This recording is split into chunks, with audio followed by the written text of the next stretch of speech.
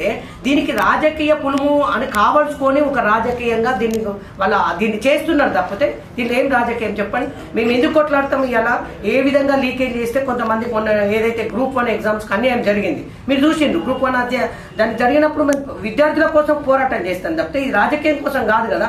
చదువుకున్న వాళ్ళు లేక డబ్బులు లేక కష్టపడి కోచింగ్ సెంటర్లకు పోయి ఎనిమిది నెలల పాటు పనిచేసినప్పుడు మేము దానికోసం పోరాటం చేస్తాం. ఇవాళ మన ప్రతిపక్ష పార్టీగా ఇవాళ ఉన్న ప్రభుత్వం ఎన్ని తప్పిదాలు చేస్తూ పేపర్ లీకేజ్ నిషేధం చేస్తూ ఎంత అన్యాయం చేస్తున్నది అదే విధంగా టెన్త్ క్లాస్ పిల్లలు కష్టపడి చదివి చదివిన పిల్లలకు ఏదైతే నాణ్యమైన విద్య అందించి చదువుకున్న పిల్లలకు ఈ విధంగా పేపర్ లీకేజ్లతోని చదువుకొని వాళ్ళకు న్యాయం జరుగుతూ చదువుకున్న వాళ్ళకు అన్యాయం జరుగుతుంది కాబట్టి రాజకీయ పార్టీగా మేము చేయాల్సిన బాధ్యత ఇది కావాల్సుకొని టీఆర్ఎస్ పార్టీ రాజకీయ పులుమని. ఇలా సబితా ఇంద్రారెడ్డి గారు మాట్లాడుతున్నారు.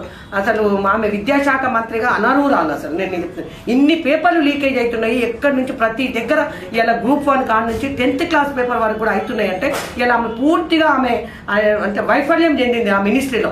ఆమె మాట్లాడకుండా ఇలా రాజకీయంగా పులు రాజకీయంగా మీరు మీరు ఎదుర్కోవద్దు ఇది రాజకీయంగా దీనికి అనొద్దు అని మాట్లాడా సత్యేంద్రారెడ్డి గారు.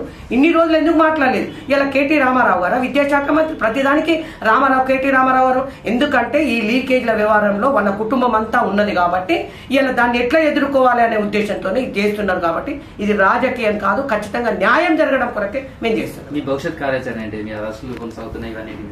తప్పకుండా ఎందుకంటే ఈ అక్రమ అరెస్టులు అక్రమ నిర్బంధాలతో దేన్ని ఆపలేరు.